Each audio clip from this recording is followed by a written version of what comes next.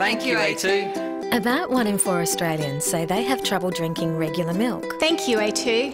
It can make them feel uncomfortable. Thank you, A2. That's why we made A2 milk. Thank you, A2. It's all natural with no additives.